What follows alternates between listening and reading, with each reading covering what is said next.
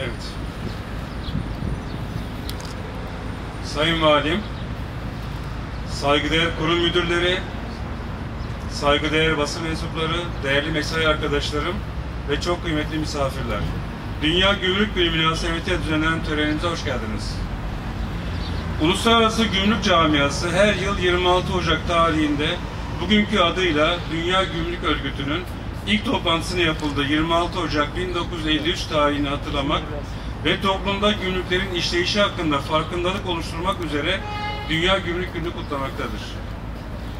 Dünya Gümrük Günü her yıl Dünya Gümrük Örgütü tarafından belirlenen bir tema çerçevesinde kutlanmakta. Dünya Gümrük Örgütü tarafından belirlenen 2024 yılı teması geleneksel ve yeni ortaklarla işbirliğinde gümrükler olarak belirlenmiştir. Bu yılın teması kapsamında Dünya Gümrük Örgütü'nün yazısına atıfla dünyada teknolojik gelişmeler, çevre sağlık krizlerinin yanı sıra jeopolitik değişimlerle de karşı karşıya kalındığı, bu zorluklar ve dönüşümler karşısında gümrük idarelerinin proaktif bir yaklaşım benimsemesi gerektiği ve bu nedenle de bu yılın temasının bir açıklamadan ziyade bir yol haritası olarak görülmesi ve geliştirilmesi gerekmektedir.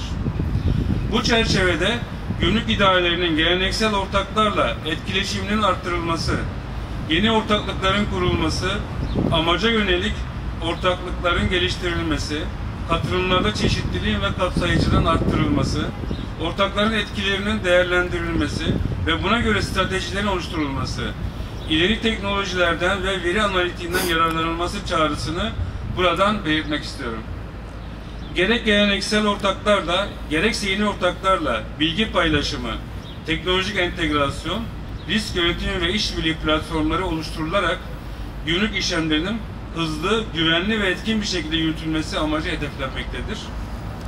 Bu vesileyle başta günlük işlemlerin etkin bir şekilde gerçekleştirilmesinde emeği geçen personelimiz başta olmak üzere tüm gümrük camiasının Dünya Gümrük Günü'nü tebrik ediyorum.